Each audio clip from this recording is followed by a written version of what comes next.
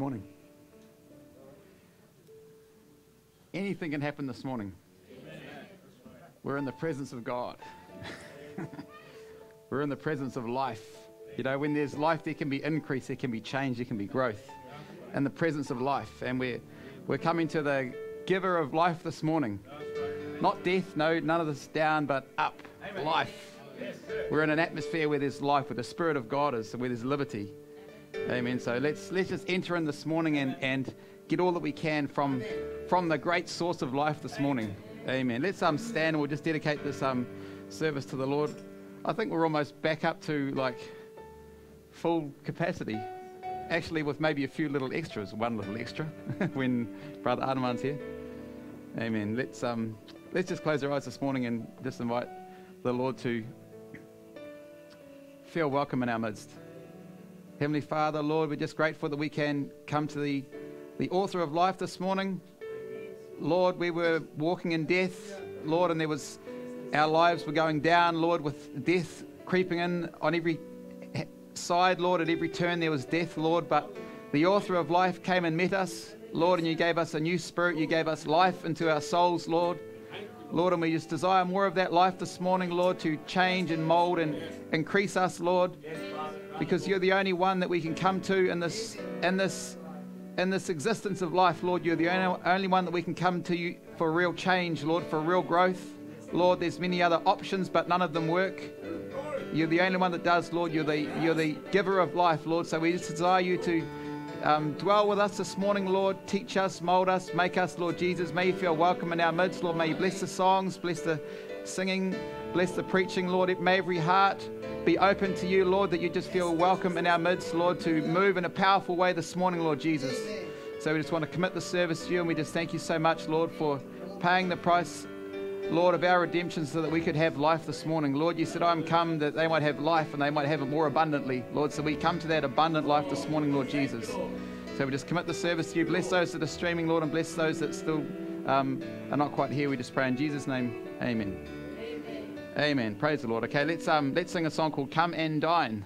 The Master calleth, come and dine. You may feast at Jesus' table all the time. G. Jesus has a table spread where the saints of God are fed. He invites his chosen people, come and dine.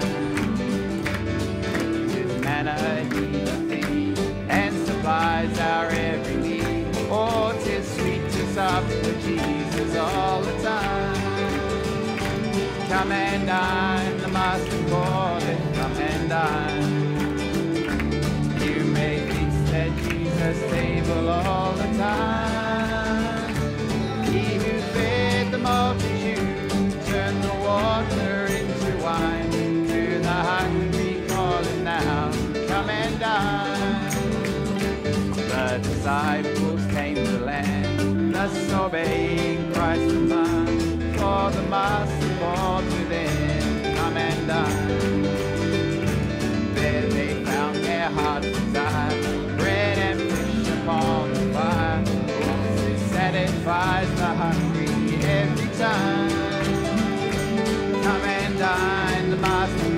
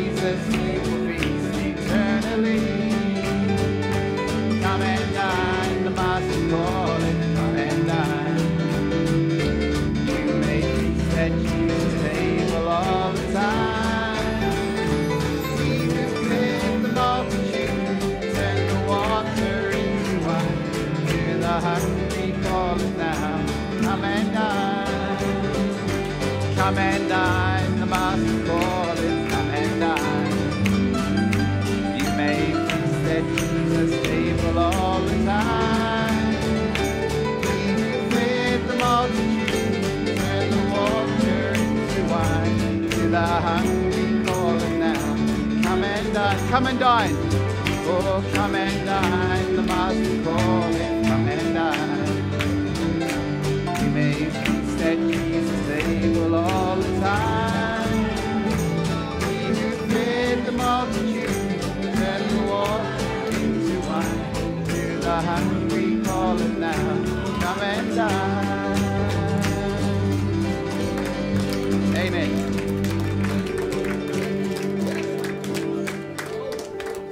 Amen. You always get satisfied when you dine at the Lord's table. Amen. Brother Joshua, I'm like a sheep and you're like the shepherd, bro. When you lead, I follow. Because you're all the words there. You know,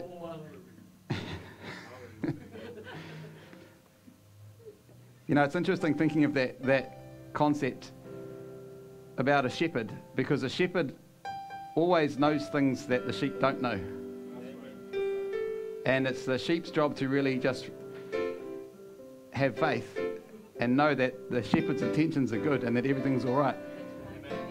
Even if it doesn't seem like it's all right, or even if you can't see what's happening. I just had a, I've got a little funny story. So there was, we suspected there was somebody snooping around the home last night at, in the early hours, like 1.30. And I said to Melissa, I rang her up, oh, 12.30, I said to, rang Melissa and said, do you, did you hear that? There was a car and things. And, and she said, no, I didn't, but because it definitely came past the house. And she said, I'm kind of scared. You know, like, can you, can you come down and, you know, look around? So, so Mr. Survival Man kicked into gear. So I got my torches and this is not America, but I got my gun. Because, hey, you're out there by yourself, you know, you, you might come across three or four guys.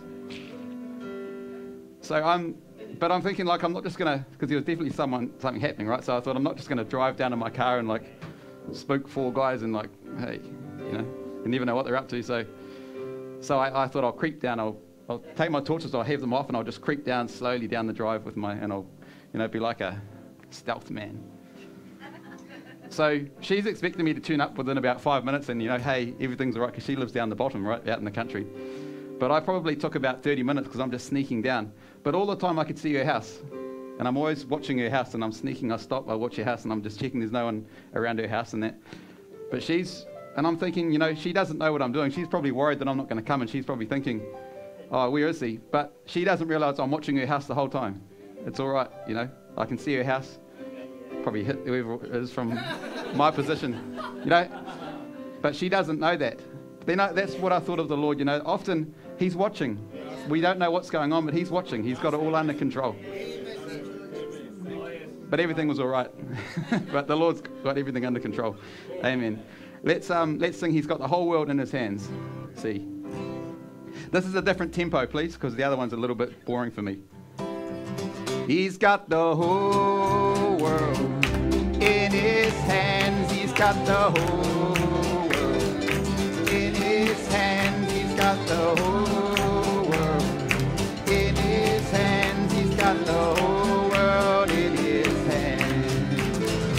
got the tiny little baby in his hands. He's got the tiny, tiny baby in his hands. He's got the tiny, tiny baby in his hand. He's got the whole world in his hand.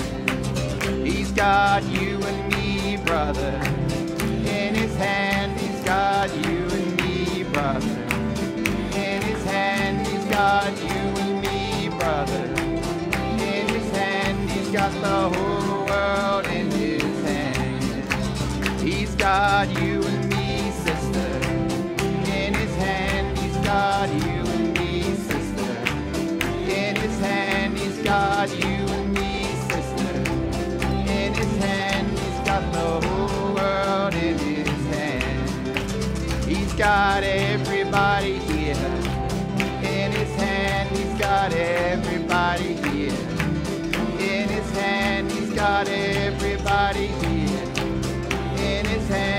got the whole world in his hand.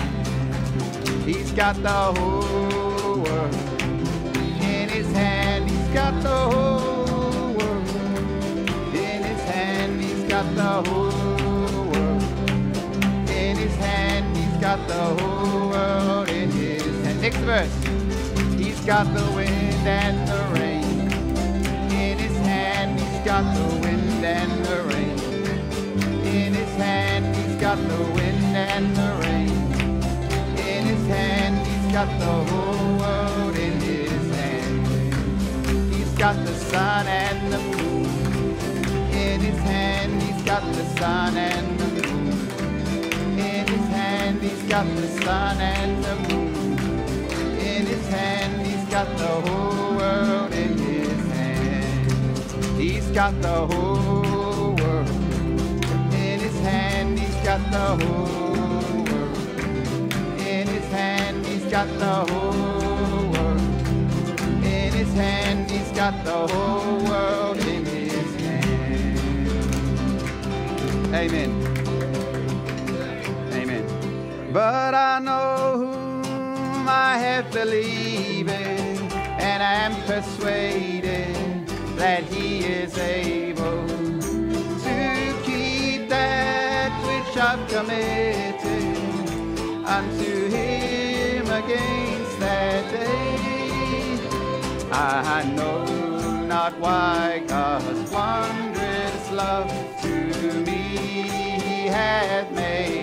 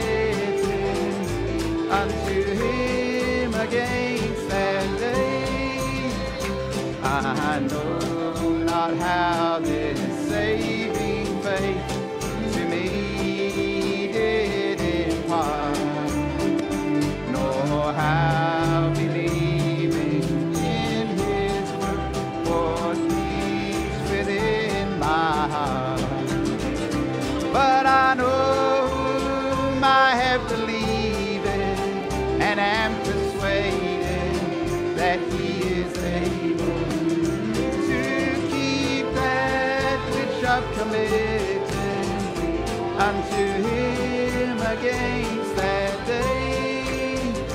I know not how the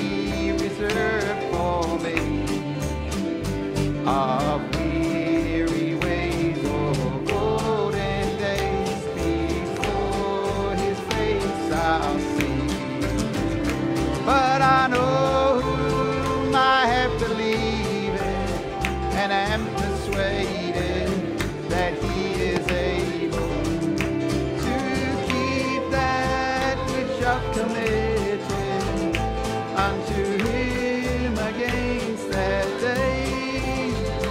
I know not when my Lord may come at night or noonday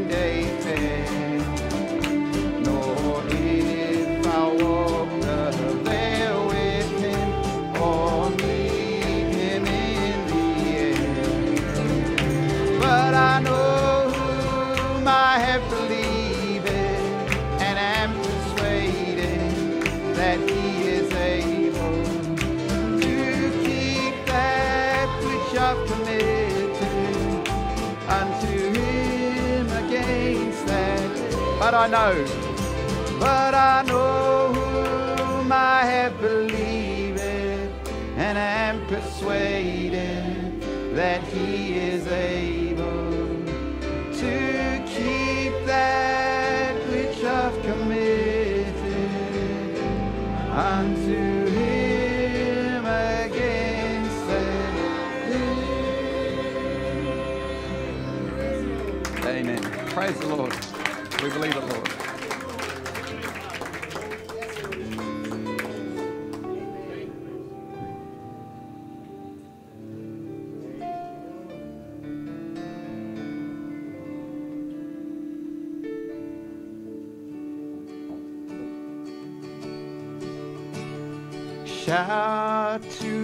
the north and the south. Sing to the east and the west. Jesus is Savior to all, Lord of heaven and earth. Shout to the north. We will shout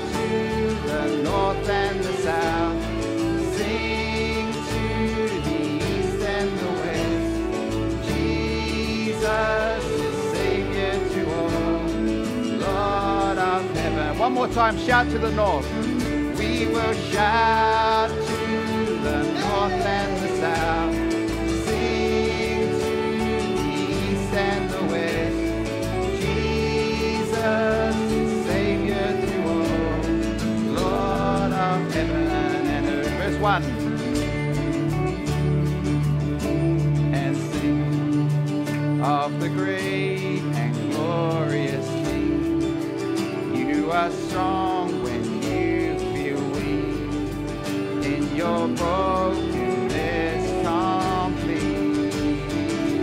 the north. We will shout.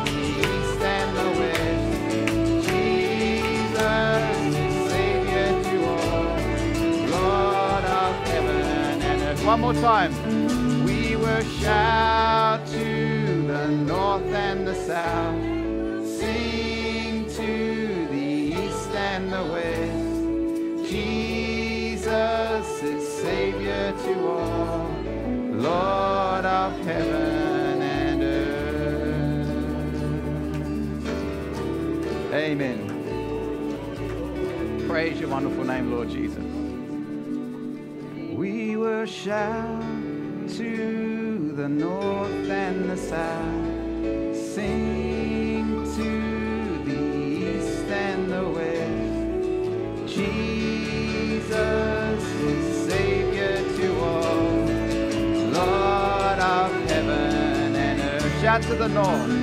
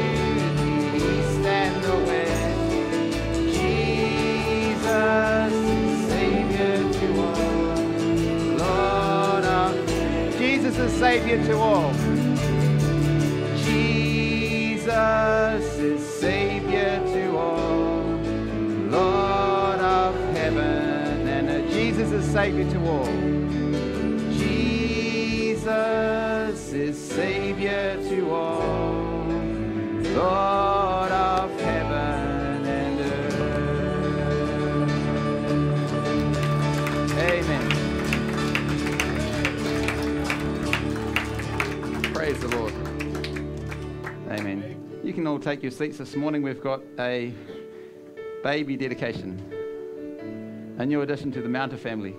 So I'm going to invite Brother Ben up this morning. Amen. Praise the Lord. Hallelujah. Amen. Let's just sing just as Brother Chris and Sister Cherith, you want to bring Lena up. Let's just sing, bring them in. Amen. I'm so happy this morning in my office. I heard little Lena crying, but praise the Lord, there's life. Amen. Hallelujah. Amen. So let's just sing it, shall we?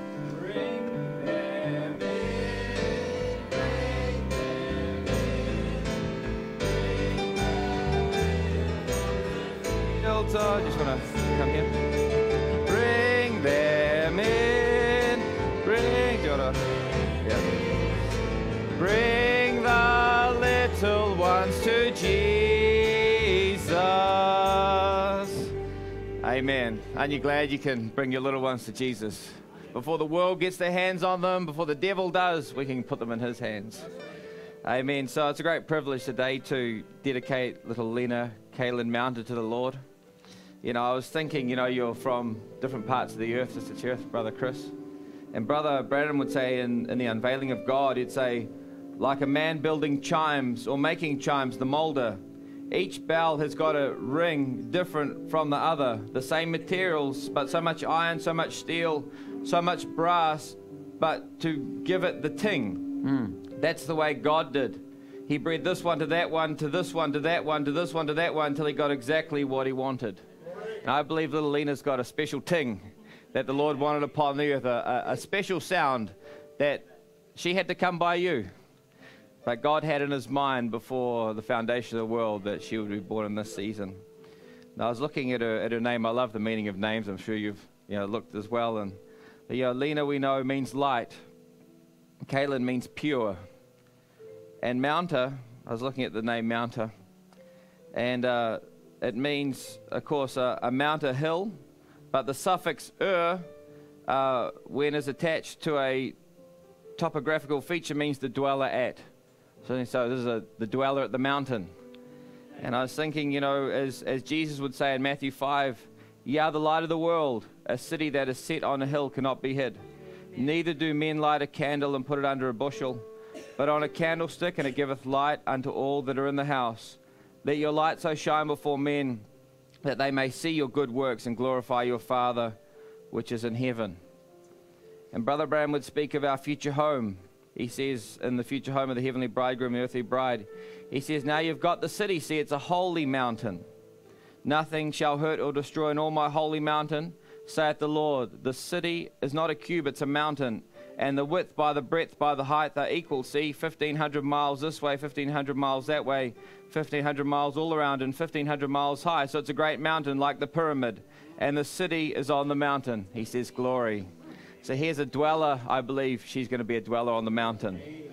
Amen. That future home. So I pray that she will be a pure light. I know that's your heart's desire too, that she'll be the light of the world We need little ones to manifest this word as well. It's not just old ones, it's, it's, it's little children. Amen. So, amen. So, can I hold her? Amen. What a precious little one she is. Amen. Amen. Let's just bow heads at a word of prayer, shall we? Gracious Lord Jesus, dear Lord, we thank you for this life. Thank you for the Lena, my God. Thank you for bringing her safely into the earth, Lord. Thank you, Lord, before the foundation of the world, Lord, she was on your mind. Lord, as a pure light, my God, to manifest this word to this dying world. Father, I pray, Lord, that you would bless her abundantly as we dedicate her into your hands. Lord, my hands are a very poor substitute to yours, but Lord, you're the same Jesus. So, Father, as children were given to you, O oh God, you bless them, Lord. So we place little Lena's life, Lord, into your hands. Amen. Father, guide her steps, my God. Reveal yourself to her even at this age, my Lord. May she know your presence, my Lord. May she know your voice. Dear God, not just in church, but at home, O oh Lord. And Father, Lord, when she looked into her parents' eyes, may she see other dwellers at the mountain. Lord, those who are going to dwell in the New Jerusalem, my God. May they see this message put on flesh in them, O oh God. And Father, may you put such a hunger and thirst in her heart for you, O oh God. Bless her abundantly, dear Lord. We dedicate her for a life of service. Father, into your hands, Lord, we love you. We thank you for this love gift that's come into the Mounter Home. Lord, in Jesus Christ's name, amen. Amen. amen. God bless you, Lena. Amen. God bless us, Cherith. Amen. God bless you, Brother Chris. God bless you. God bless you. God bless you, Liam. Amen. Hallelujah. Amen. God bless you. Pass it back over to you, Brother Isaac. Amen.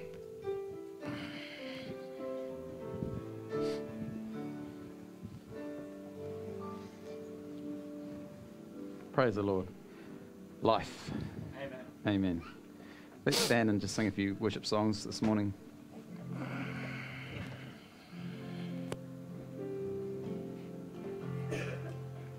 Here is love, vast as the ocean, loving kindness as the flood. When the Prince of Life, our ransom, shed for us his precious blood, who his love will not remember, who can cease to sing his praise, he will never be forgotten throughout hymns eternal. Let's sing Here is Love one more time. Here is love vast as the ocean, loving kindness flood. When the Prince of Life, our ransom, shed for us his precious blood, who his love will not remember, who can cease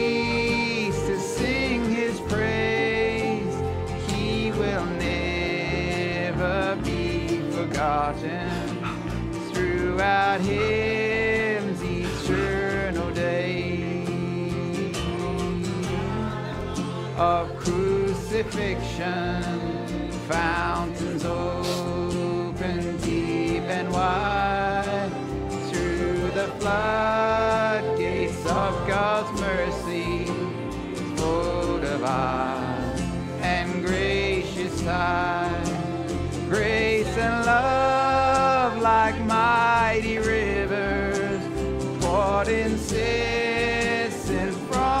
above, and heaven's peace and perfect justice.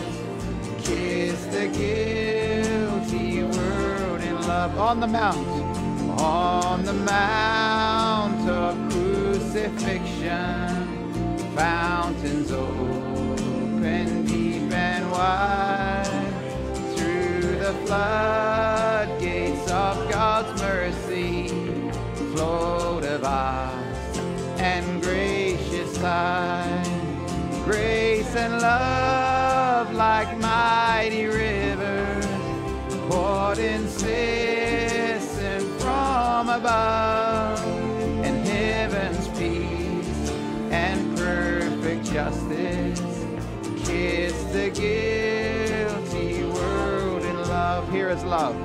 Here is love, vast as the ocean, loving kindness as the flood. When the Prince of Life, our ransom, shed for us his precious blood, who his love will not remember, who can cease to sing his praise,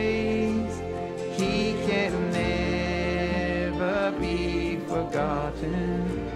Throughout hymns eternal days, who his love will not remember, who can cease to sing his praise, he will never be forgotten. Throughout hymns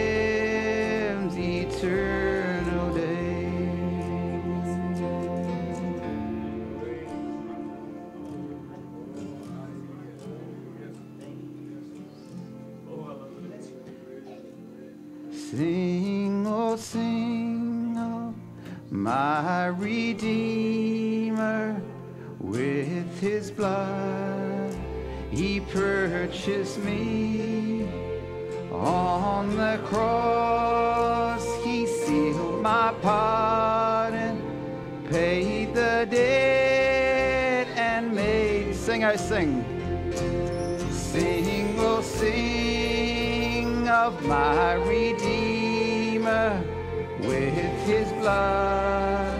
He purchased me on the cross. He sealed my pardon, paid the debt, and made. One more time. Sing, oh, sing. Sing, oh, sing of my Redeemer with his blood. He purchased me on the cross. He sealed my pardon, paid the debt, and made me free. Verse 1. I will sing of my Redeemer and his wondrous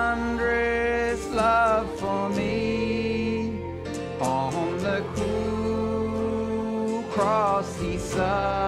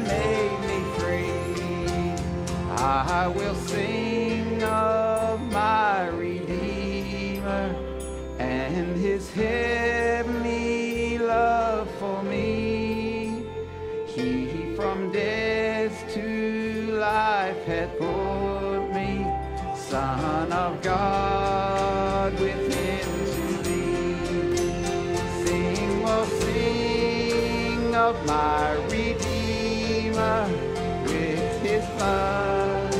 He purchased me on the cross. He sealed my pardon, paid the debt, and made me free. Sing, oh, sing. Sing, oh, sing of my Redeemer with his blood.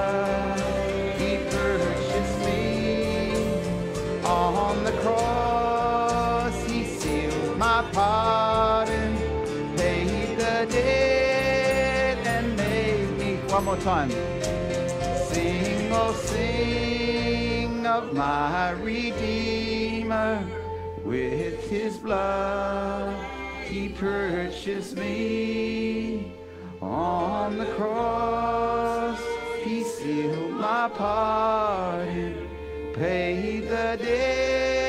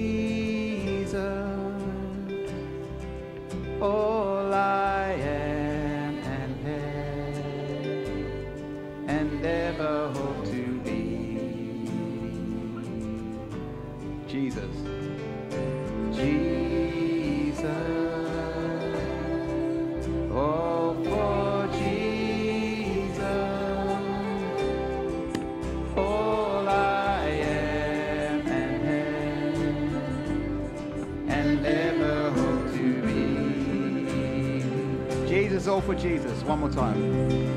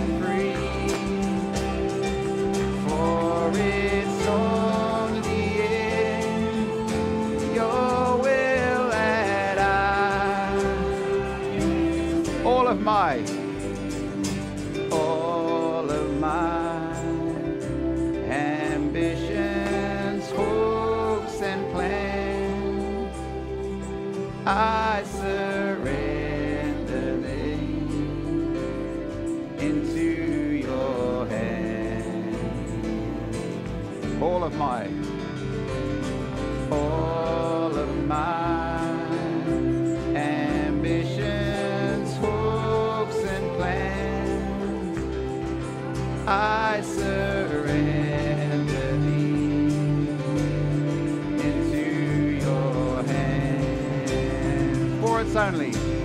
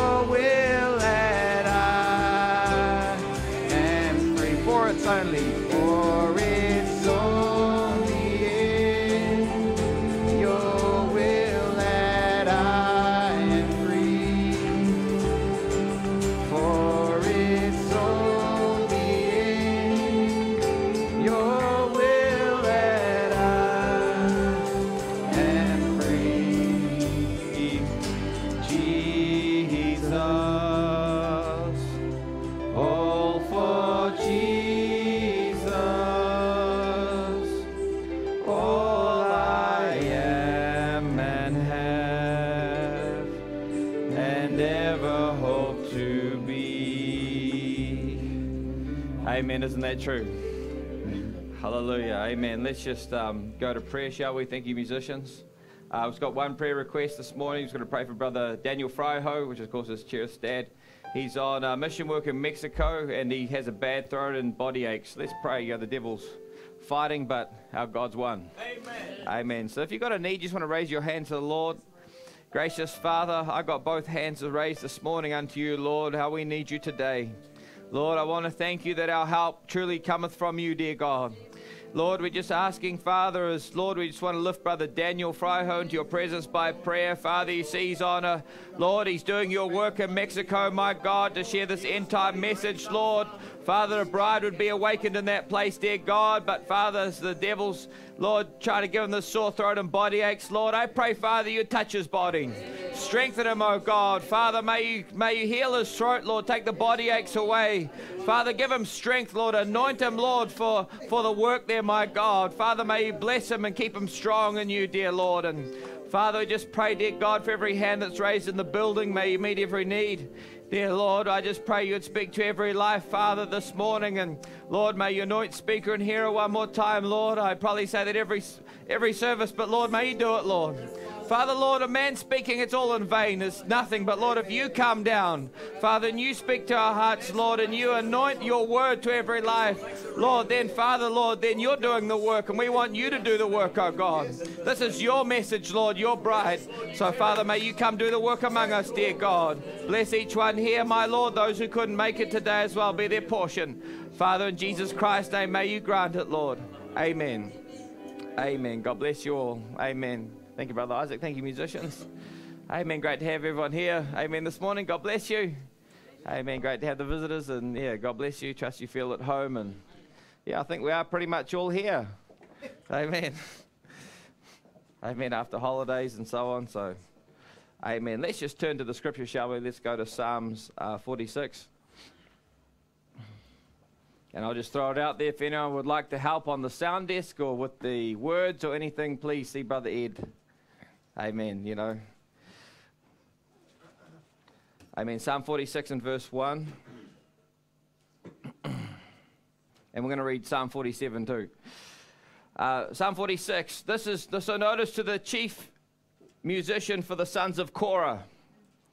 A song unto Alamoth. I don't know if that's me making that noise. God is our refuge and strength, a very present help in trouble. Therefore will not we fear through, though the earth be removed, though the mountains be carried into the midst of the sea, though the waters thereof roar and be troubled, though the mountains shake with the swelling thereof. Selah. There is a river. Amen. The streams whereof shall make glad the city of God, the holy place of the tabernacles of the Most High. God is in the midst of her, she shall not be moved. God shall help her, and that right early. Amen. I'm glad about that timing. The, the heathen raged, the kingdoms were moved. He uttered his voice, the earth melted. The Lord of hosts is with us. The God of Jacob is our refuge. Selah. Come behold the works of the Lord, what desolations he hath made in the earth. He maketh wars to cease unto the end of the earth. He breaketh the bow and cutteth the spear in sunder. He burneth the chariot in the fire. Be still and know that I am God. I'll be exalted among the heathen. I'll be exalted in the earth. The Lord of hosts is with us. The God of Jacob is our refuge. Selah. We'll just continue reading down.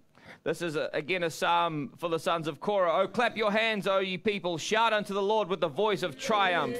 For the Lord Most High is terrible. He is a great king over all the earth. He shall subdue the people under us and the nations under our feet. He shall choose our inheritance for us. Amen. I'm so glad he chooses it. The, the excellency of Jacob, whom he loved. Selah. God has gone up with a shout, the Lord with the sound of a trumpet. Sing praises to God, sing praises, sing praises unto our God, sing praises. For God is the King of all the earth. Sing ye praises with understanding. We have understanding in this day. God reigneth over the heathen. He sitteth upon the throne of his holiness. The princes of the people are gathered together, even the people of the God of Abraham. For the shields of the earth belong unto God. He is greatly exalted. Amen. Amen. May the Lord bless His word. You may have your seats this morning. I want to. I want to take a. If I could title this, I want to speak about uh, removing the stigma of your past. Now, now we know the word is eternal. You know, it speaks to all people, all generations, and um, you know, all scriptures for reproof, for doctrine, for exhortation. You know, all scripture is that. But we, but I want you to notice that that there's there's a few of the psalms and they are directed to the sons of Korah, and God is wanting to show us something in this. It's not just God filling up ink on paper, you know, but there is a reason why they are directed to the sons of Korah or for the sons of Korah. Now. The sons of Korah, we know Korah was one that, that would, would raise up during when, when Israel was going in, from Egypt into the promised land. He, he, he rose up. He was a man of renown, and, and, he, and he rose up with, with the, um, you, know, um, you know, with Dathan and Abiram and, and the great princes, and they rose up before Moses, and you know, with certain of the children of Israel. Now I'm reading Numbers 16.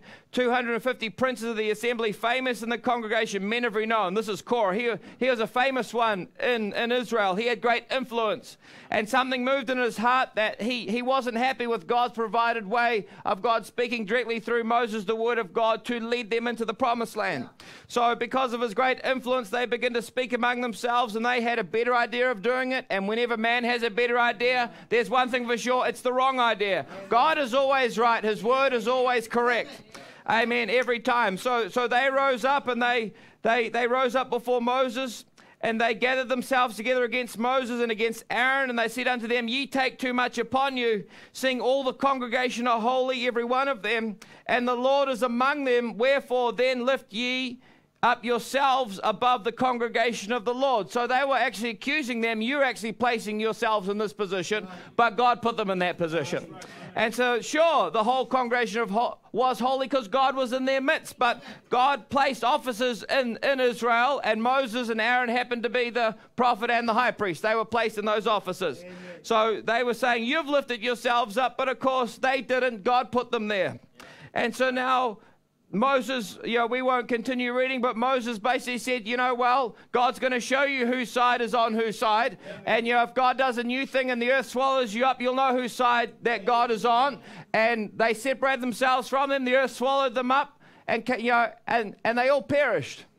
And even Jude would speak about this as the gainsayings of Korah. So these gainsayings are men with a political spirit, political mind rising up against the order of God, trying to take control. Now, this was Korah. Now, the scripture says that, that in Numbers 26 and 11, notwithstanding the children of Korah died not. So that Korah died, but his children weren't caught up in this, in this, in this event. But now, imagine the stigma. Your daddy was now part of this rebellion. Remember, in Israel, lineage was everything. They were the son of the son of whoever, you know, so lineage was everything. So there was now a stigma attached to Korah's name. Right. So to be now a son of Korah, what was in the father, we know, is passed down into the children. So the same attributes are potentially now in the children. So they carried that stigma with them. Now, I remember when I was young, maybe I was Annalise or Lilia's age, and my dad read us from the Bible when we read about the first murder on the earth. Of course, Cain killed Abel.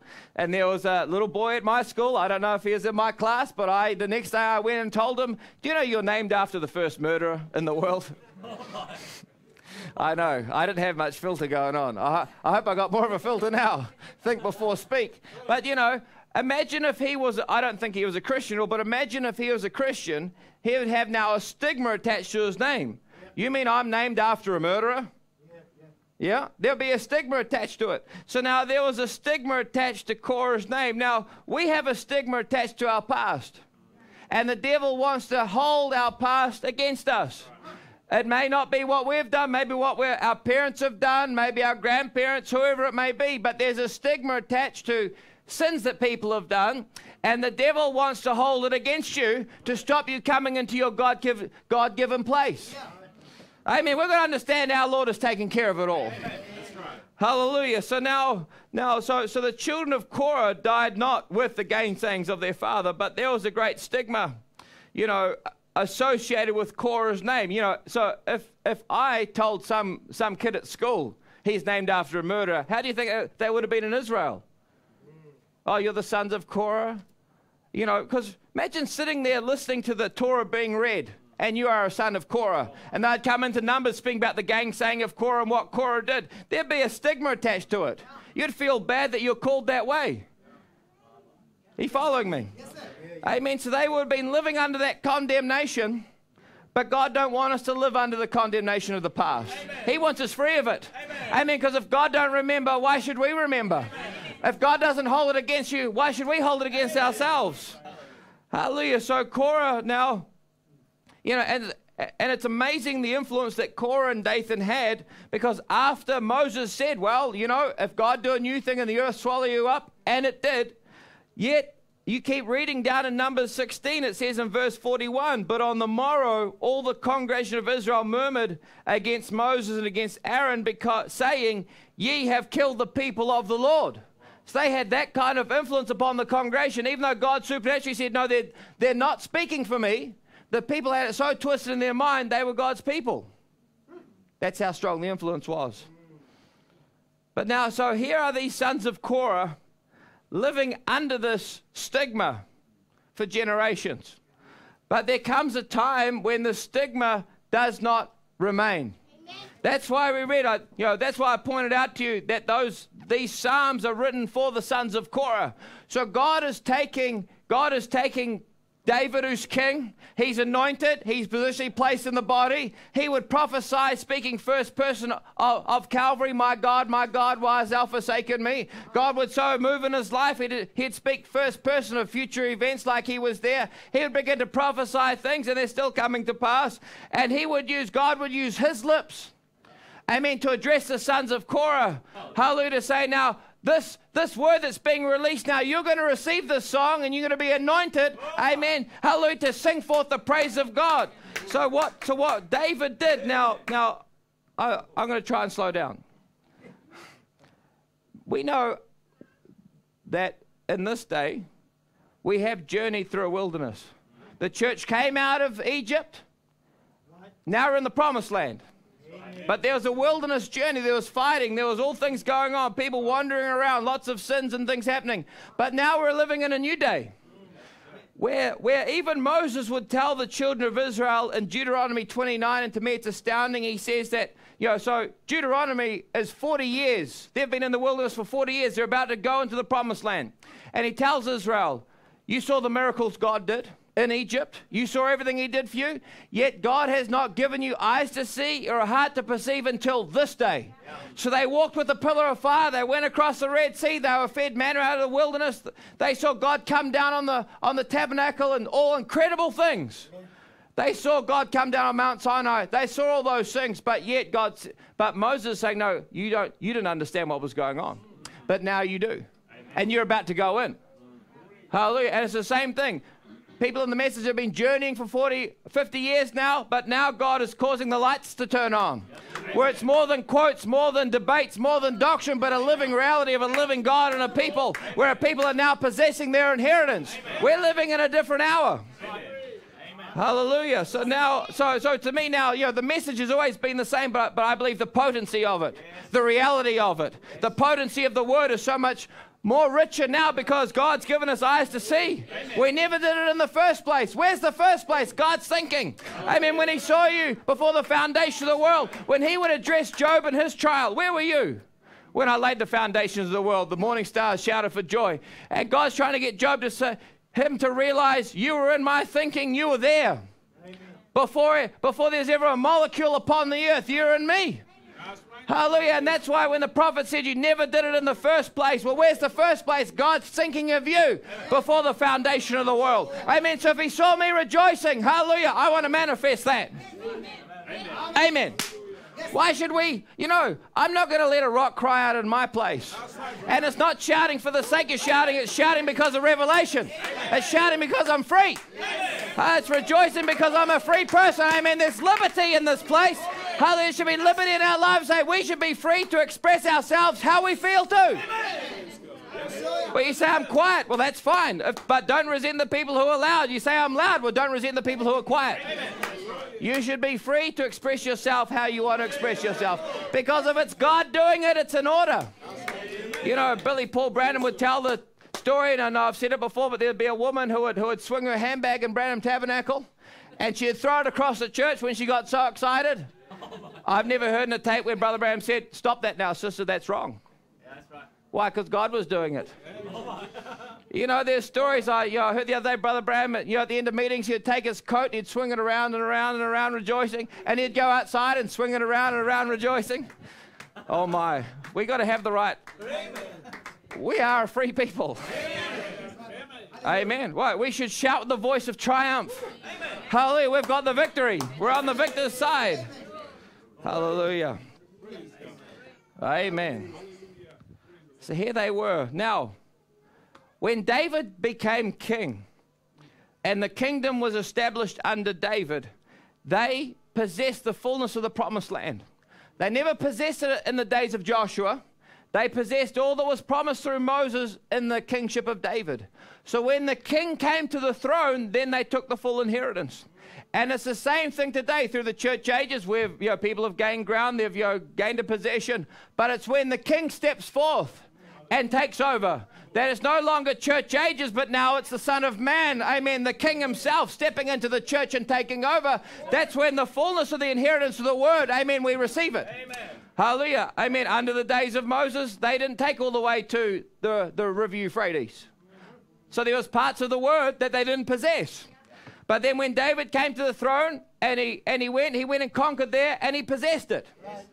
Why? Because the king came to the throne. And so now under David, we had people coming into an adoption.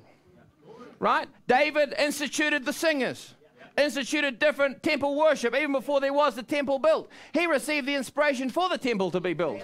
But he began to put things in place that when, when Solomon would finally put the physical temple together, everything was there that the worship could be instituted. So under the kingship of David, people came to their adoption. The mighty men came to their adoption. Now, adoption we know is placing in the body, right? So now the mighty men before David came to the throne, they were just Gentiles, they were just vagabonds, destitute, afflicted, whatever they were, in distress, tormented. But then, under the anointing that was on David, they came to their position in the body, right? They came to their adoption, just like the sons of Korah. They had a stigma to their name. I remember then David, under the inspiration of the Holy Ghost, God told him, No, take the sons of Korah, place them in the worship. Place them in a very influential place. Amen. Where, where their father could not be. Amen. I'm going to put the sons. And I'm going to put the sons there to show that the stigma attached to their name has been scrubbed off. Amen. That I don't see it no more. Amen. But now they are in their position. Hallelujah. Glory to God. Glory to God. Amen. That should make you real happy. Why does it make you feel happy? Because there's a stigma attached to our first nature. Amen. Sin was, know, we were born with sin nature. We were born in darkness. Doesn't matter who you who you are, what your last name is. Amen. We must be born again. There's got to be God's got to transform your life and change you. So there's a stigma with our first birth, with our first name. But remember when Brother Branham preached the first seal, he says that you'll understand. I no longer call you church but I call you bride. Why does he? Why are we no longer called church? Because there's a stigma associated with the name church. Amen. With church, there's a stigma of man's ideas, man's dogma, man controlling man, all those different things going on, hierarchy, politics, whatever it may be. That's all associated with the name church. But he says, No, I'm not calling you that name no more. I'm going to call you bride. You're under a different dispensation now. You're in a different office now. Amen. Because now, bride. The bride of Jesus Christ, there's no stigma with that name. Hallelujah. Why? Because everything we are, we are because of Him. Amen. We no longer have our own identity. Hallelujah. We have His identity. Amen. Just like when, when Ruth, Ruth came into Israel, she was she had a stigma. She was a Moabitess. The law said no Moabite could enter the congregation of Israel. There was a stigma. She was a widow with nothing. Amen. There's a stigma under her mother, you know, you're over her mother-in-law. Don't call me Naomi no more. Call me Mara. My life's become bitter. Why? There's a stigma associated with it. But then when Boaz came, when Boaz came to the field and saw and saw Ruth there, fell in love with her. Hallelujah. Amen. And, and, and, and took her as wife. Amen. Now she had no stigma associated to her name because she was no longer Ruth from Moab. Now she was Ruth of Bethlehem. She was the wife of Boaz. Hallelujah. It's the same thing with us. Amen. Our God is taking care of our past. You say, I, I wrestle with a lot of things. Just give it to Him. He's already taken care of it. Hallelujah. He's already taken care of your past. You say, Well, I've fallen many times. Just get back up. Amen. He's already taken care of it. Hallelujah. Has he not? Amen. When he died on Calvary, he didn't say, Well, I, got, you know, I need to die again at the end of the age. Amen. To, to, to take care of all the sins in the future. No, he took care of it all. From, it, from when sin first came in to when sin will end, he took care of it all under that blood. Hallelujah. So if he took care of it all, amen, we just got to have such confidence, Lord. You've done it. You've taken away. The, yeah, the devil tries to put a stigma on us. You did this. You said this. You thought this. You acted this way. Amen. You say, no, devil. That person died. Amen. I'm an overcomer. I've here to overcome you by the blood of Jesus Christ. Remember, this message is a positioning message. It's an adoption message. Amen. If it's adoption message, then therefore we will be placed as the bride of Christ. And I believe now we are being placed as the bride of Christ. We're not looking for a future event now. This word, Amen, is here to place you in your place. Hallelujah. Amen. That's something to shout about. Amen. I was once a, I was once like the sons of Korah. Oh, your daddy did this. Oh, you did this under your first birth. Look at this. Puts a weight on you. Imagine them. Let's not have a family, you know, family union, whatever, you know. They were, they were stuck with this name. They couldn't change this name. But one step to the throne. Hallelujah. They had the sure mercies of David. And, he, and God said, no, no, no, no. Don't let them live under that anymore. Place them here. Place them here as the worshippers. And I'm going to speak through you psalms, and they're going to receive that inspiration of that psalm. They're going to sing it forth themselves. And the same inspiration that fell upon you is going to fall upon them, and then they're going to sing it, and they're going to create an atmosphere, and I'm going to come down and dwell in their praise. Hallelujah. It's the same thing. Amen. God anointed the prophet.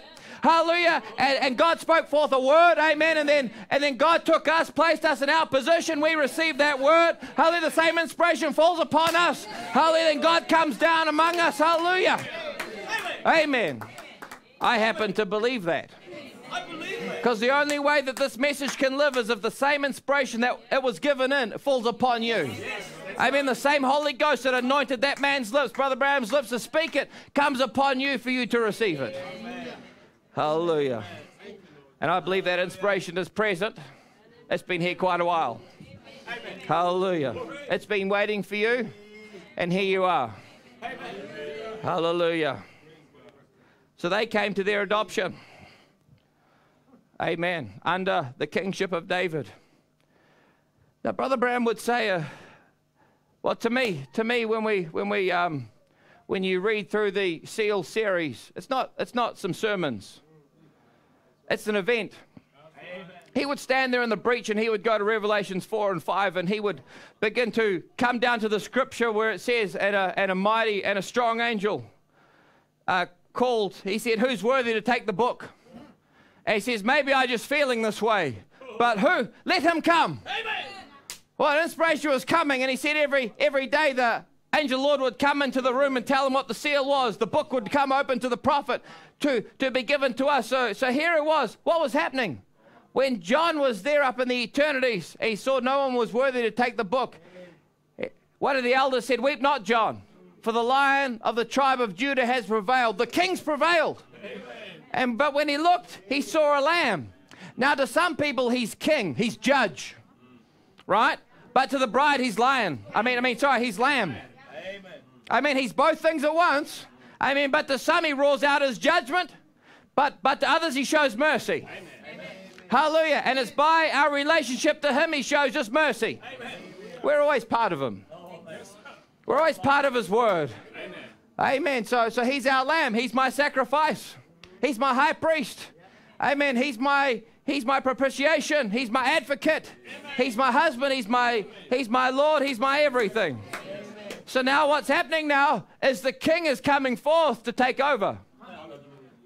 What happened when Jesus came the first time? Because remember, the church when Jesus came, or the Old Testament church when Jesus came, it was all, when he came, what they have? Man made systems, man made ideas. It was all just the church doing its thing. But then he came, the king, to come to his church. And they didn't want him. Some of them accepted, but most didn't. Why? Because headship was coming to the body. But Israel wouldn't accept it. And then, so what happens now in the end time? Headship comes to the body. Hallelujah. But there's a body upon the earth to receive it. Though the majority may not, amen, there's a prepared people that will receive the headship of the word and will become one with him. And I'm looking at it right now. Hallelujah.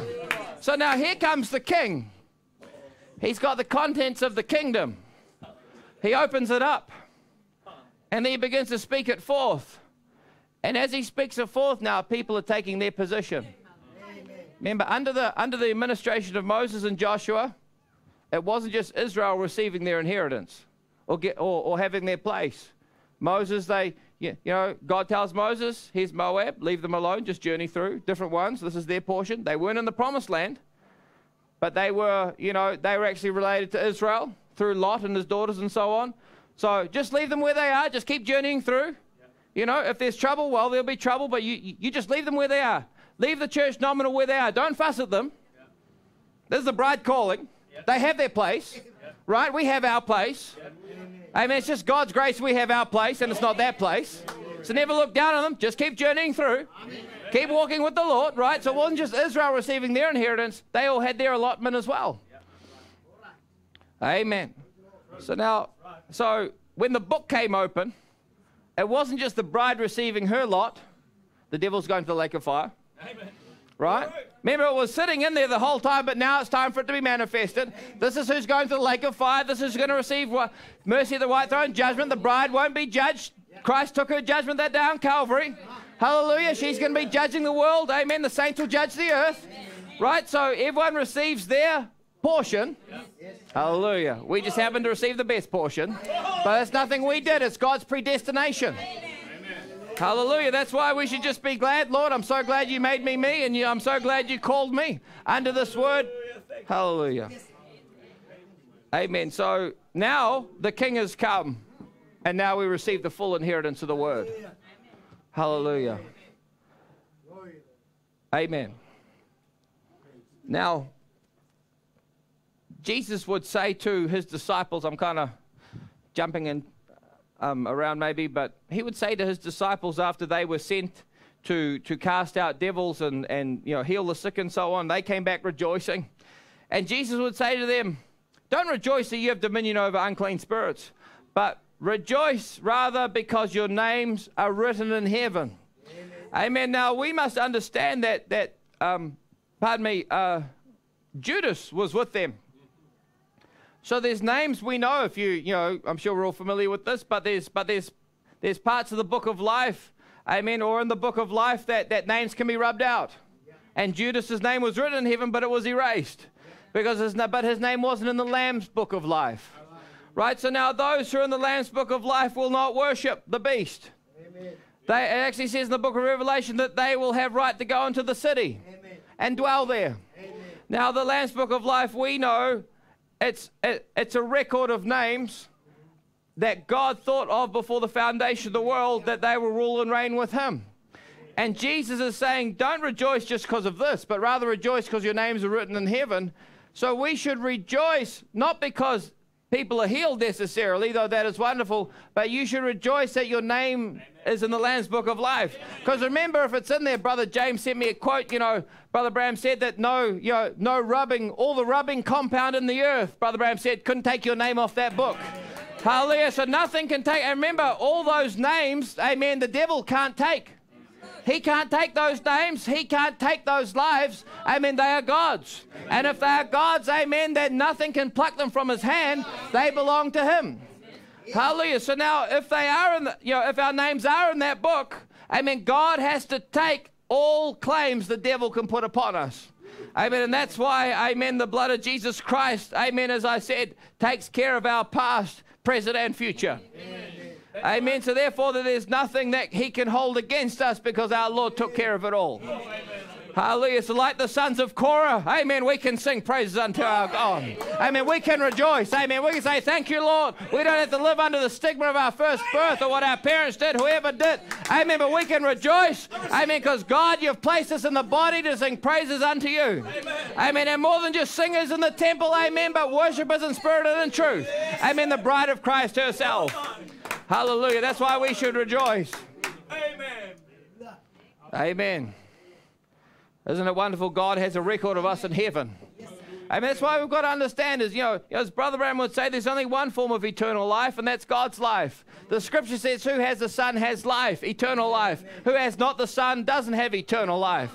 And so now, but he said, Amen, to, in order to have eternal life, you did not have a beginning. Because, because eternity has no beginning, has no end. So now, when you think about that, it shows us that if, if you have received the Holy Ghost today, I mean, this word has become a living reality in you. I mean, that's actually a vindication to you that you have eternal life. I'm not talking just about an anointing, but when the word comes down into your soul, amen, and you begin to manifest this message today. More than just an anointing. People get anointed, but they've still got their old nature living. But those who have truly surrendered all, and God lives through them. Hallelujah. Amen. So it's, so it's showing by receiving the Holy Ghost is actually God saying to you, I'm putting my seal upon you, that you would know you're with me from the foundation of the world. Hallelujah. Now, Joshua, I'm just going to go back to Joshua again.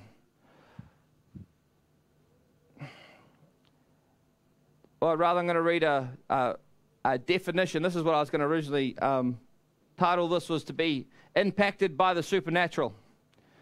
Now, to be impacted, it means you come into a forcible contact with another object. That's being impacted.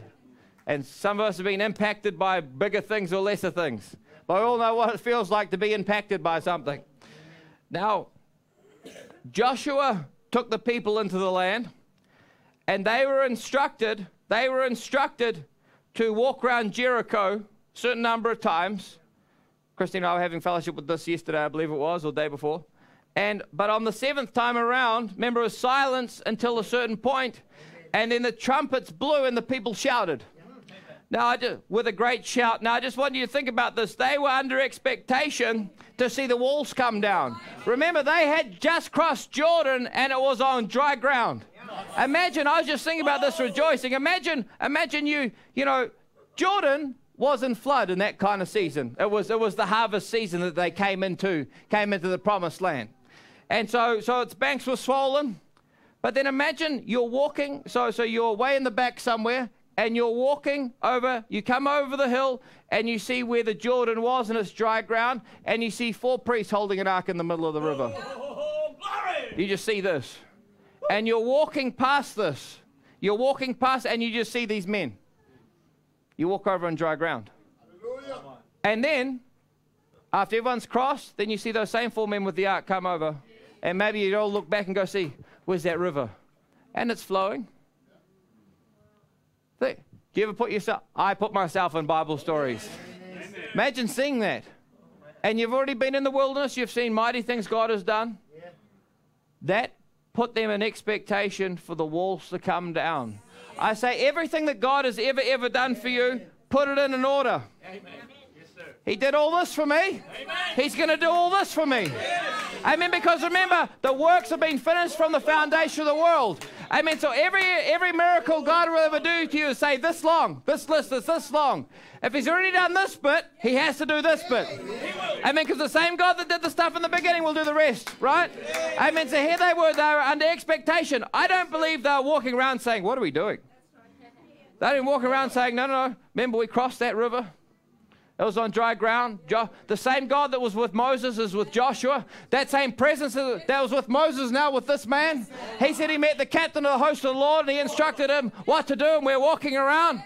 Hallelujah. And we heard the spies report, and they said the hearts of all the men have failed because of what God did for us in Egypt. And he'll do it again. You'll do it again, Lord. You'll do it again. Hallelujah. You'll do it again. Lord, you saved me. You'll do it again. Save my children. Hallelujah. You healed me once. You'll do it again. You heal me again. Amen. When I'm in financial need, you help me then. You'll do it again. Hallelujah. When I couldn't find my way, you'll do it again. I'll, I'll find my way. Hallelujah. So they walked around under expectation. That's why I say, well, we've got a prayer request. We should be under expectation. Or we've got a trouble or something. We should be under expectation. God's going to fight your battle. Amen. Remember, this is God's bride. We are His bride. He is our husband. We are His wife. Amen. If we're His wife, then we're under His dominion. We're under His care, His protection. He'll guide us through. You say, well, what about the martyrs in the in the in the martyr age? They died in faith. Because God wanted to show the devil, doesn't matter what you do to people, they will still believe and love me. Hallelujah.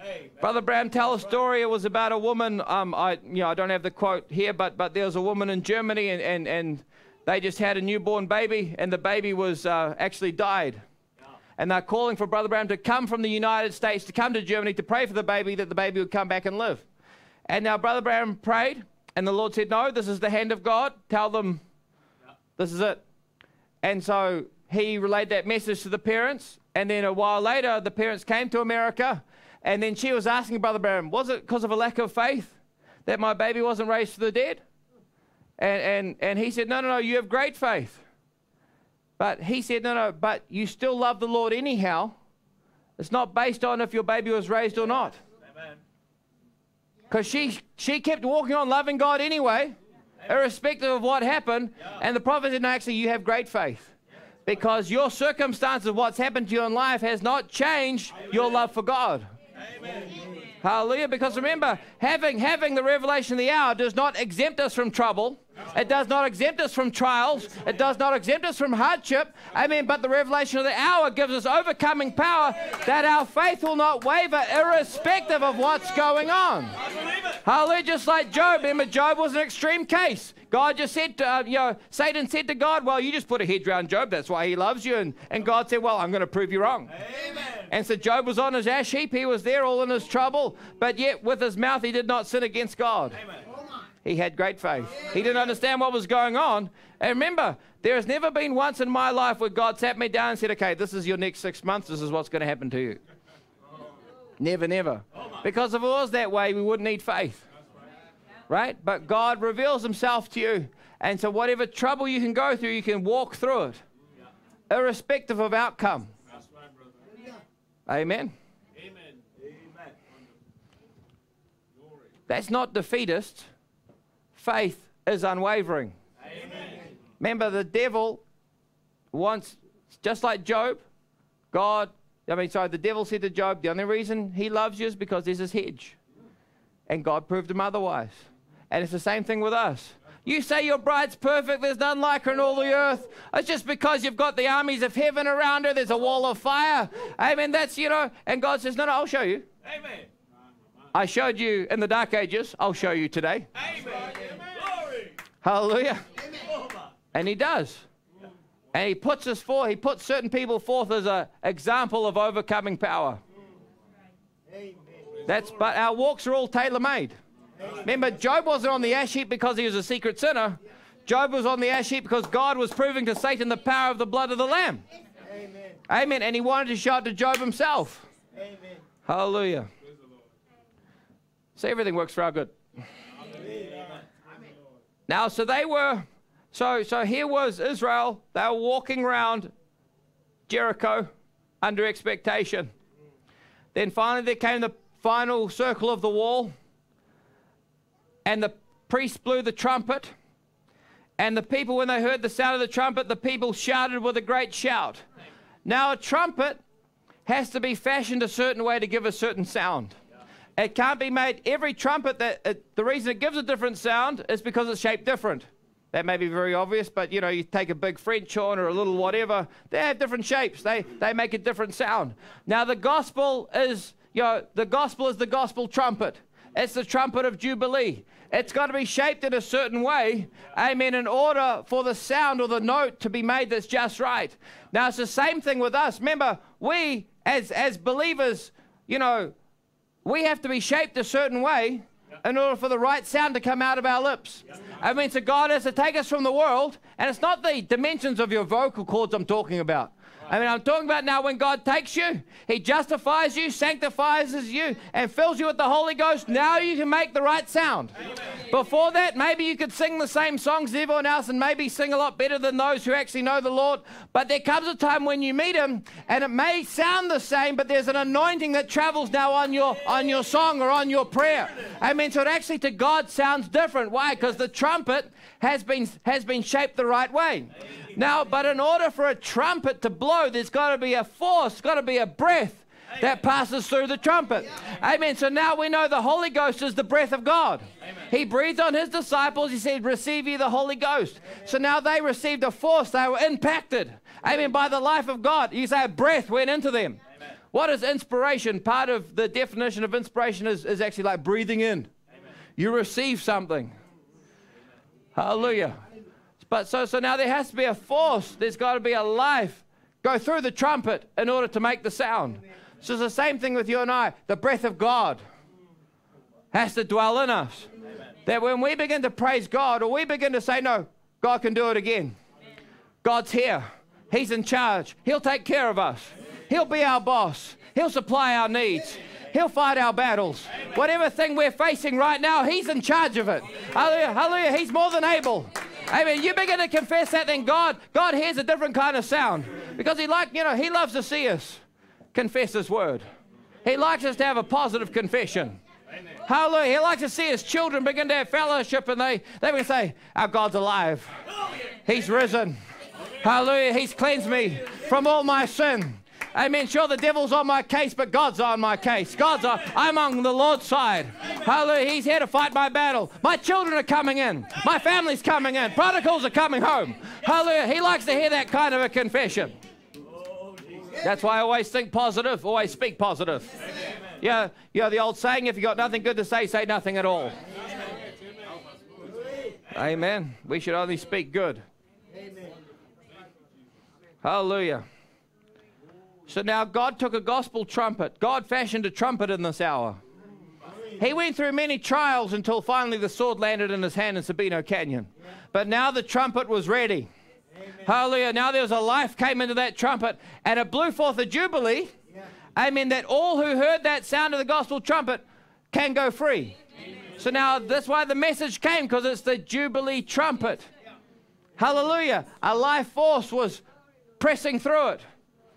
Hallelujah. But then when the people heard the sound of the trumpet, the people shouted with a great shout. Hallelujah. Why is there shouting? Why is there noise? What happens with noise?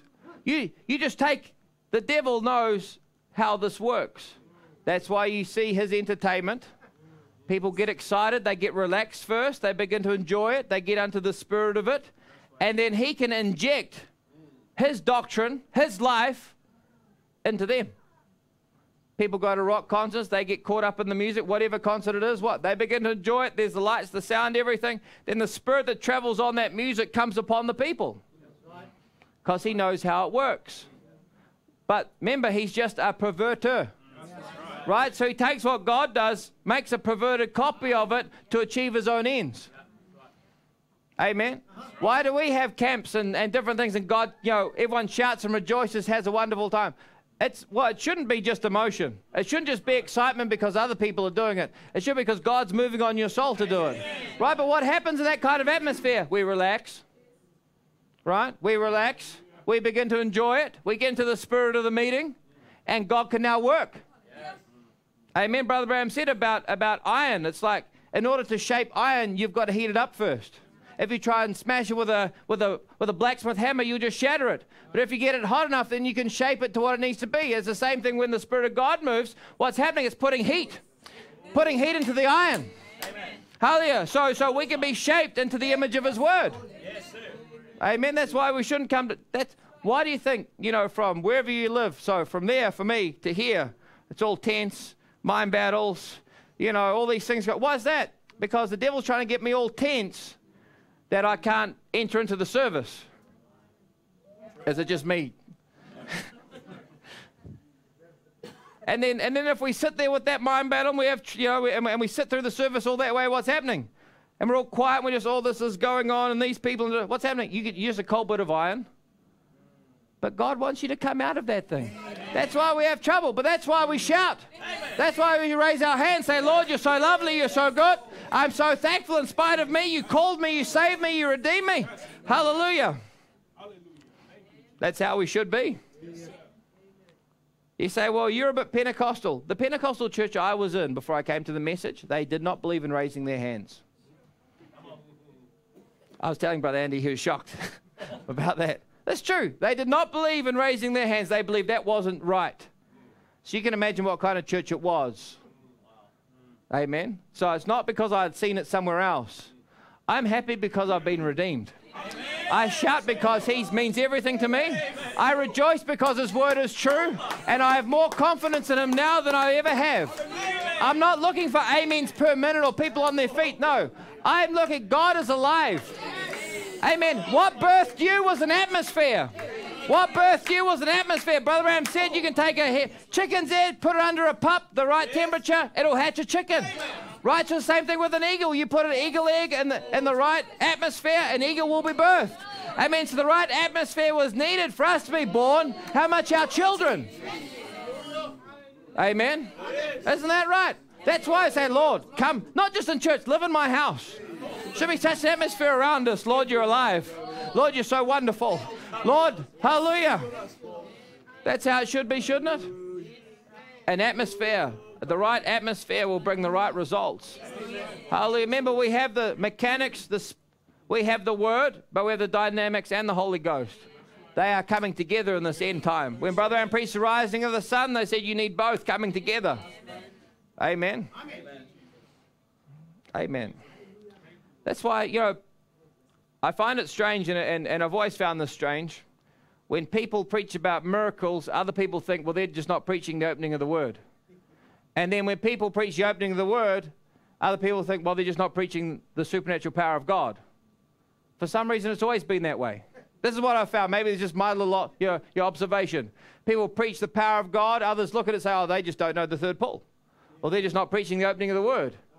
But the supernatural is in the opening of the word.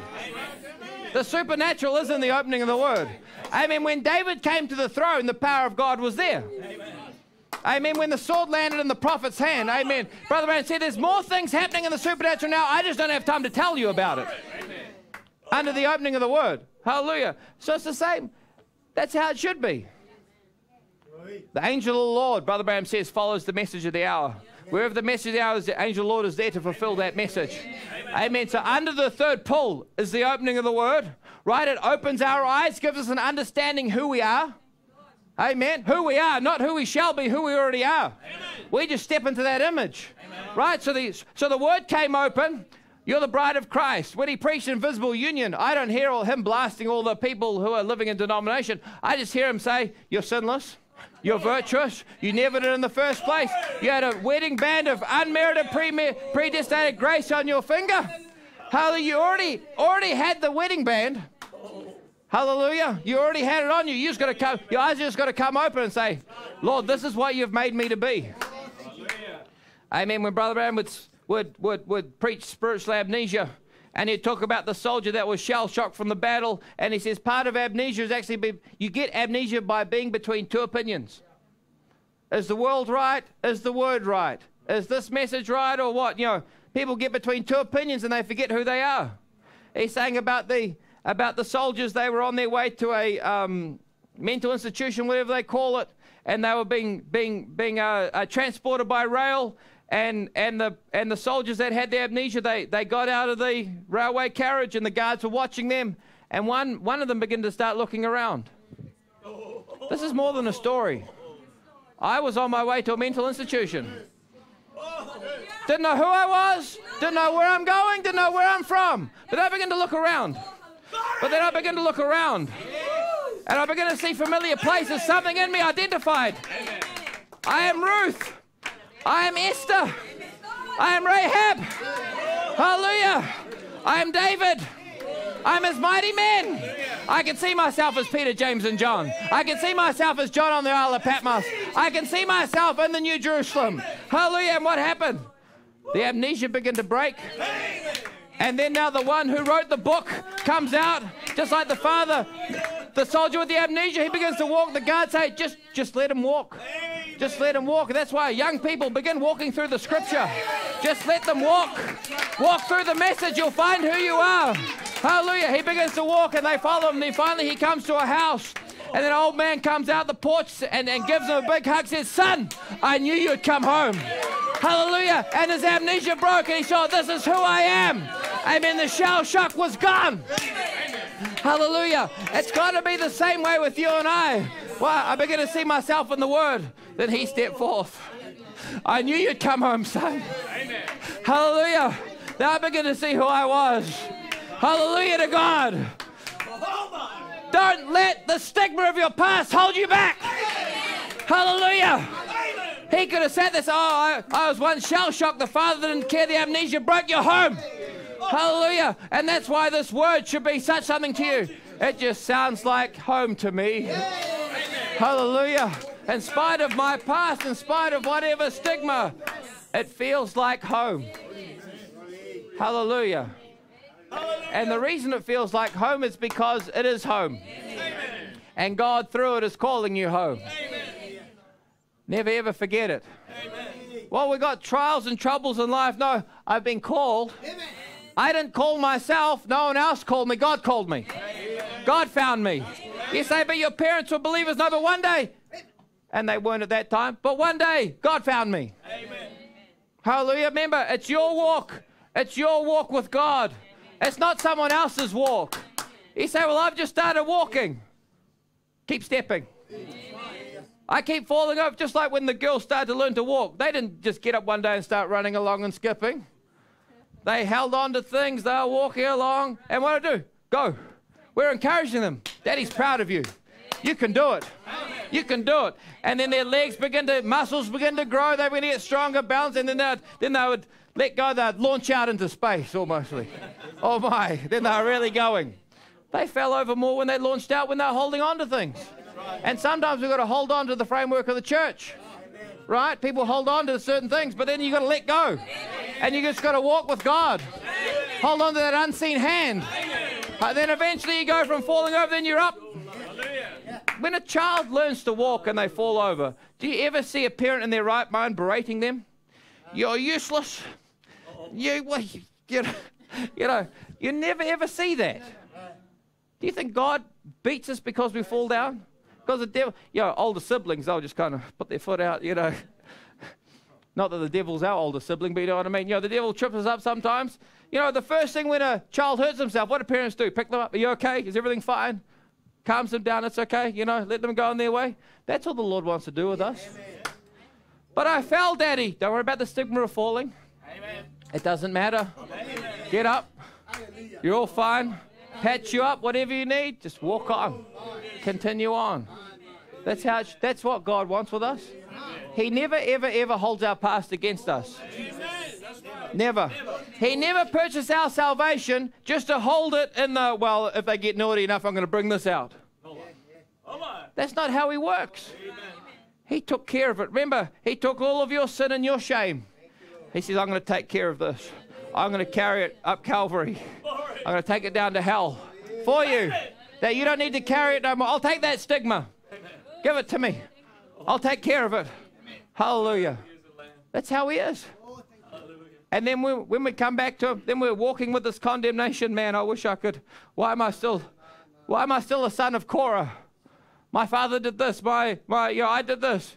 And God looks at us and says, I don't remember that. Why are you carrying that? Why are you carrying your past? I don't remember your past. The past, the only past I remember of you is when you're shouting and rejoicing before the foundation of the world. That's what I remember. Remember, that's eternal. There's no time. Right? So what you were then, you'll be there. Hallelujah. So he says, That's all I remember of you, and that's what you're going to be. Yes, sir. So don't carry. We wrestle with our humanity. I'm glad people said yep, because I say maybe it's just me. But God made you a certain way. God gave you your personality.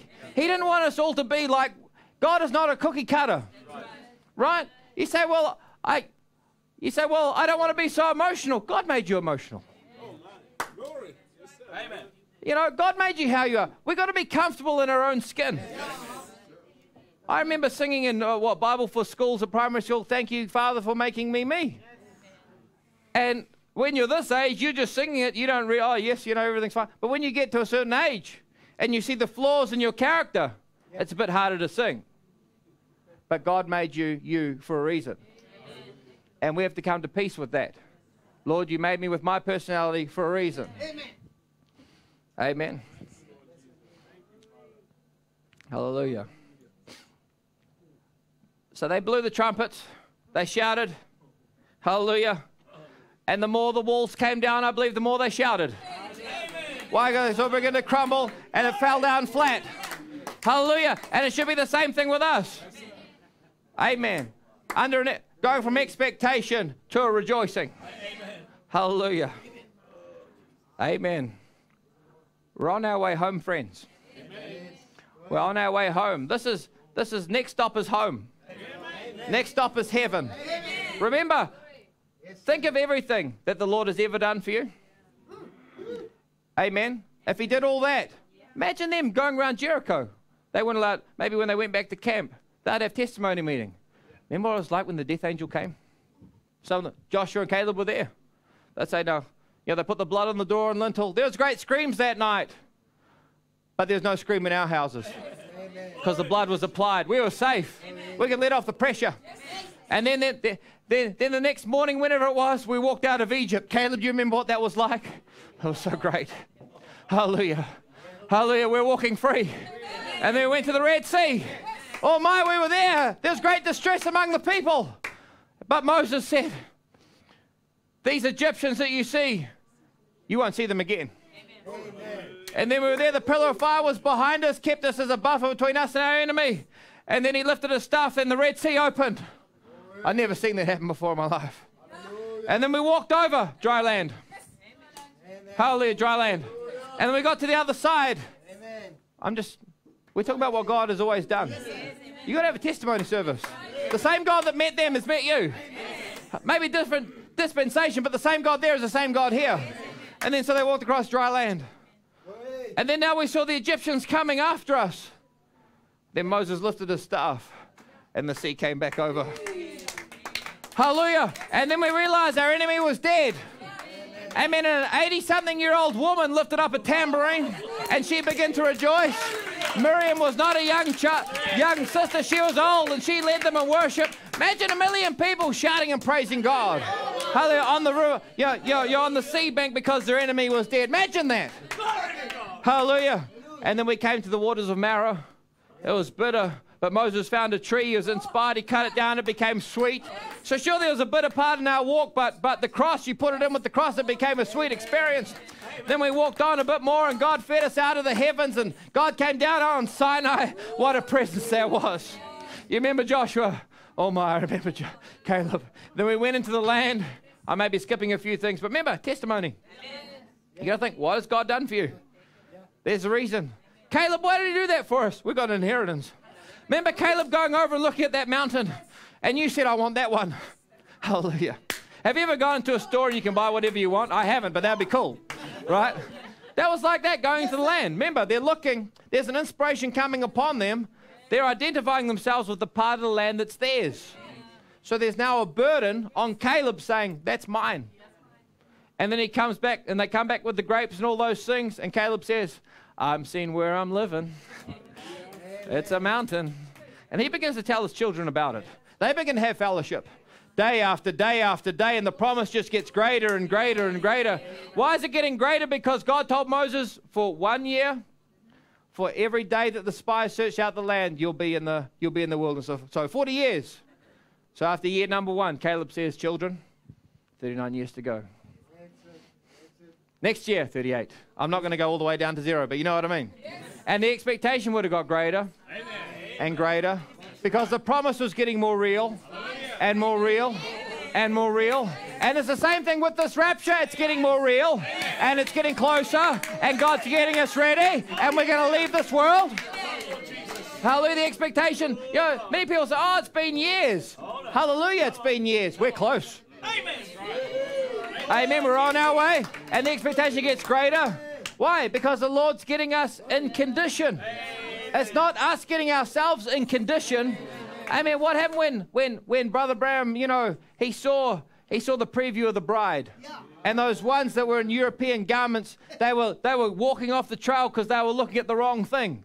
But he cried out, "Stay in line!" Why? Because their focus was coming off what they should have been following, right? And it's got to be the same thing with us. We're being led by the pillar of fire.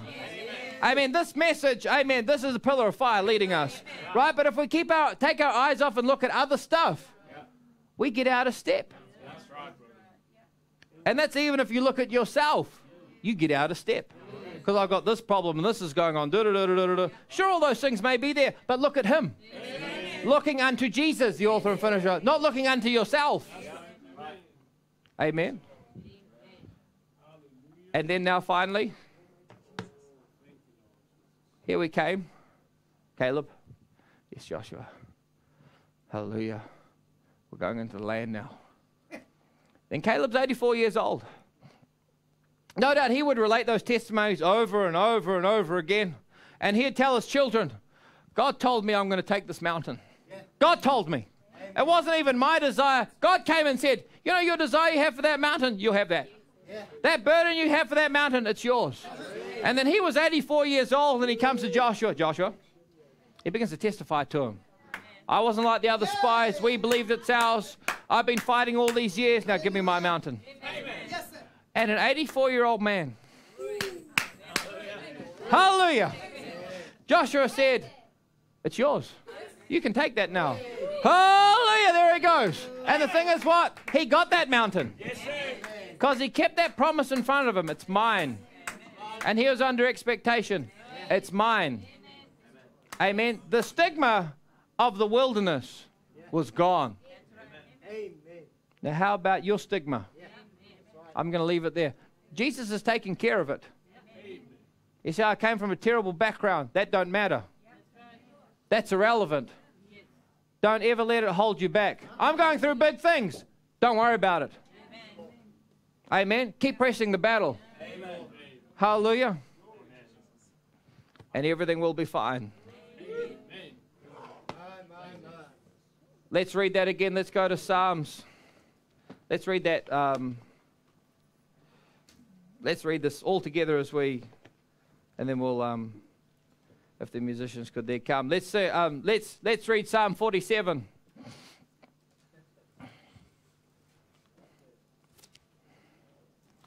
Amen. To the chief musician, a psalm for the sons of Korah.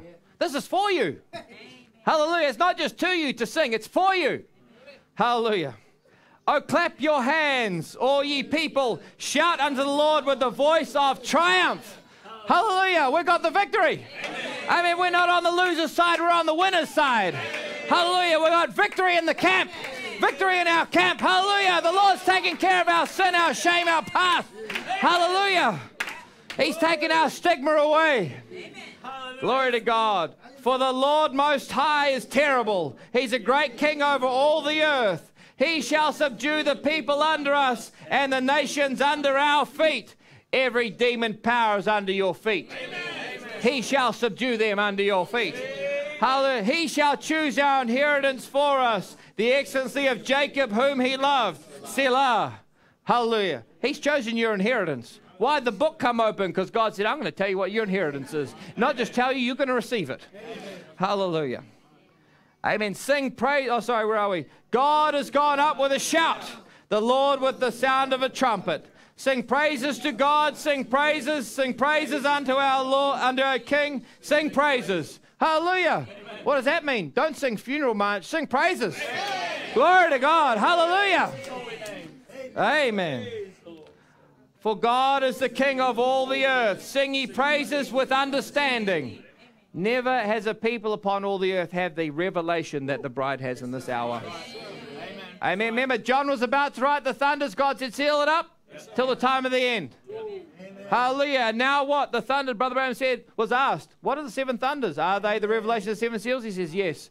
The seven thunders are the revelation of the seven seals. Amen. So what John was forbidden to release to the church has been released to us. Hallelujah. Hallelujah. Amen. So we can sing praises, sing ye praises with understanding. God reigneth over the heathen. God sitteth upon the throne of his holiness. The princes of the people are gathered together, even the people of God of Abraham. For shields of the earth belong unto God. He is greatly exalted. Hallelujah. Hallelujah. Give the Lord a hand. Glory to God. Amen. Isn't he wonderful to us? Hallelujah. Hallelujah. Hallelujah. Glory to God. He's taken away our stigma, our shame, our guilt. Hallelujah. Hallelujah, hallelujah. Oh, glory to God. Hallelujah. Amen. Hallelujah. Amen. I believe the report of the Lord. For me. Not just for anyone, just for me. He's taken my stigma away. Ha- hallelujah. Amen. Let's just pray together, shall we? Then, if the musicians could come after that. Almighty God, we want to give you praise. Lord, what a burden that must have lifted off the sons of Korah. Lord, to have that stigma for maybe generations until, until Father, they were positionally placed in the body under the headship of David. Oh my God, I want to thank you. You've taken our stigma away. You've taken our past away, oh God. You've taken our guilt away, our shame, my God. Hallelujah to your name, Lord Jesus. Thank you for cleansing us of it, oh God. Father, thank you, Lord. You no longer call us church, but you call us bride. Glory to your name, oh God. Father, I just pray, dear Lord, that you would just lift us up, oh God, into heavenly places. Dear Lord, when the devil tries to bring our past against us any guilt or shame or condemnation, Father, Lord, may we just remind him, Lord Jesus, that your blood is taking care of it, oh God. Father, Lord, that he's a liar and the father of it, and he is a defeated being. Oh, Lord, thank you for taking care of us, oh God. Thank you, Lord, you'll do it again. Lord, as you saved us, oh God, you've done incredible things already, Lord. You'll, con- you'll continue, oh God. Father, the battles we face, even now, you'll do it again, Lord. You'll do it again. Glory to your name, my Lord Jesus. Father, may you bless each one here, my God. Father, I just want to commit them into your hands, Lord. In Jesus Christ's name, amen. Amen. amen. Hallelujah. Can we have the musicians, please? Glory to God. Amen. Let's um I just want to sing thank you, thank you, Lord, for saving me. We'll come to Jubilee too, but yeah. Let's sing thank you, thank you, Lord, for saving me. Amen. Hallelujah. Amen. What key are we doing? That one. Oh, thank you, thank you, Lord, for saving me, saving, saving me. Oh, thank you, thank you, Lord, for setting me free. Oh, once I was lost, now I am found.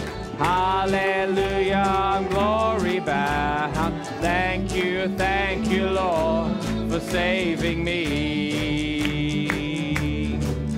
Oh, thank you, thank you, Lord, for saving me, saving, saving me. Oh, thank you, thank you, Lord, for setting me free. Oh, once I was lost, now I am found. I'm glory bound. Thank you, thank you, Lord, saving me. You came into my life and set me free.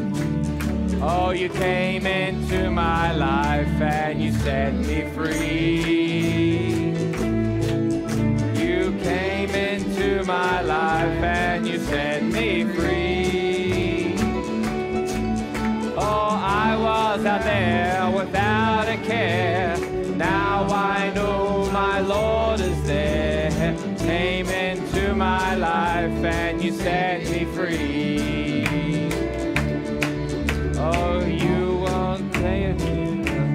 Let's me free. All bound, oppressed, tormented, sick, all. For the Holy Ghost of Acts is still the same. You won't leave here like you came in Jesus' name. Thank you, thank you, Lord.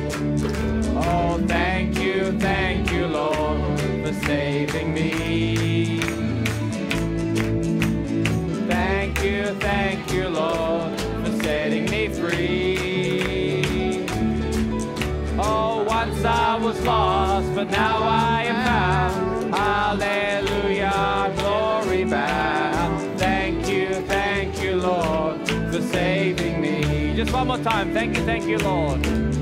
Oh, thank you, thank you, Lord, for saving me. Oh, thank you, thank you, Lord, for setting me free. I was lost, but now I'm found. Hallelujah, I'm glory bound. Thank you, thank you, Lord, for saving me. Hallelujah. Amen. Amen. Is, is um, Brother Chris and Sister Cherith back there? They're going on a sabbatical to Auckland. A sabbatical.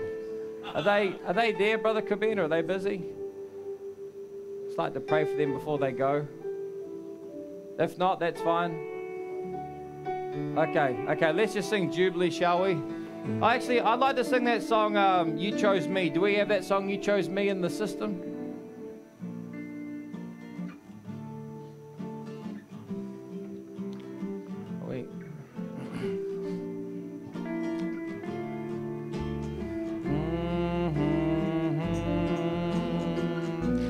Such a one condemned as I. Sorry, I thought we were there. Would have no part in and I died. But thou, O Lord, just like to pray for you before you. Yeah, back again. Took my place. You took my place. You took my place. Amen. Let's just so, as I said, Brother Chris, Sister Cherith are going on a sabbatical to Auckland. They're not leaving. Praise the Lord. So I'd just like to pray for you before you go, and yeah, may the Lord bless you and keep you while you're up there. And yeah, we'll miss you. We'll look forward to you coming home, eh? Amen. So let's bow our heads, shall we? Lord Jesus, we want to thank you, dear God, for Brother Chris, Sister Cherith, Lord. Liam and, and Lena, my Lord Jesus. Father, I just ask, dear God, your blessings would be upon them.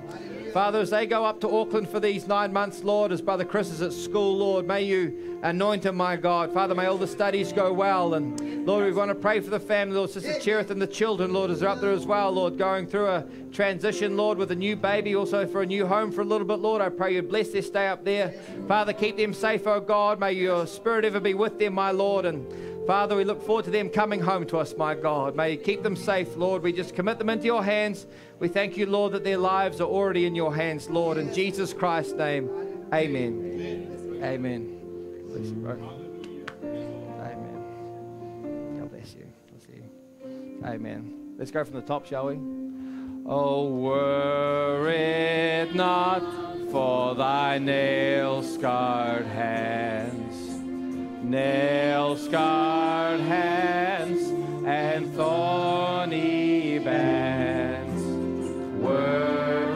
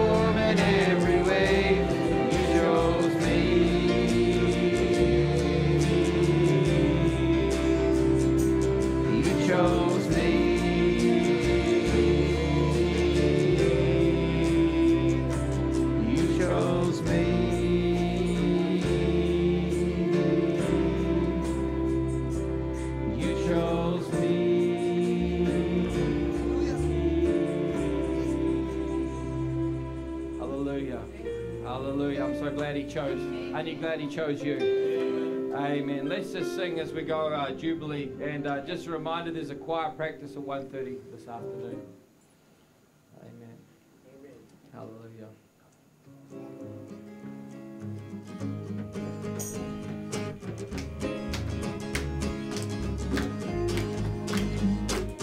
Years and years I lay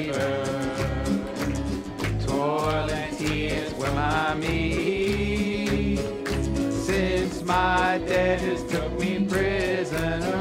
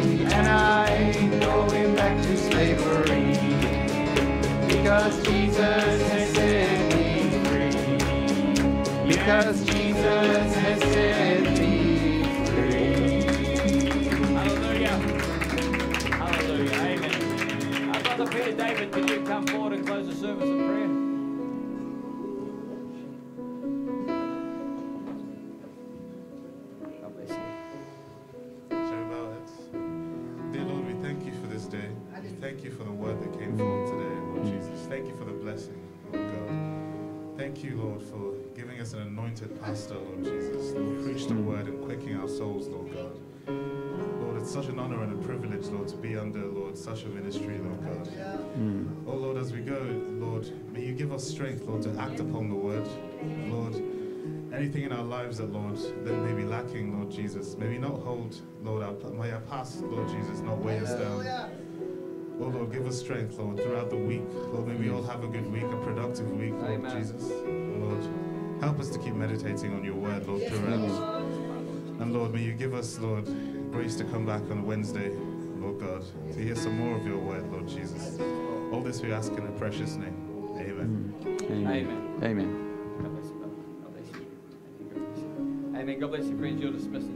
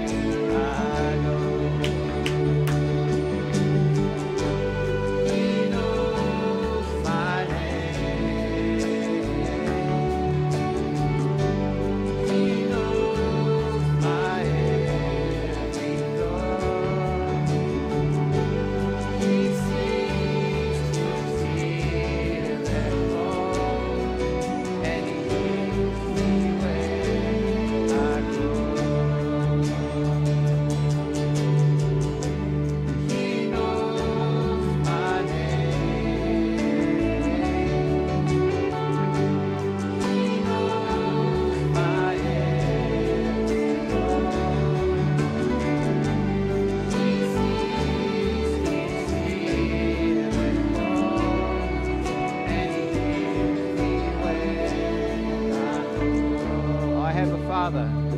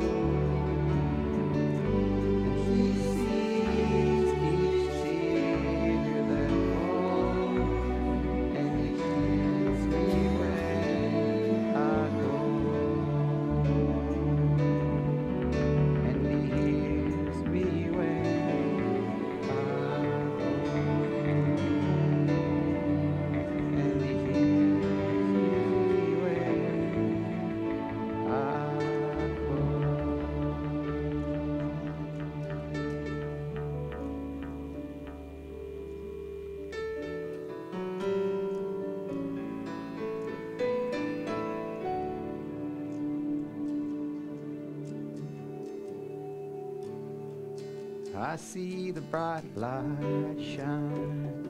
It's just about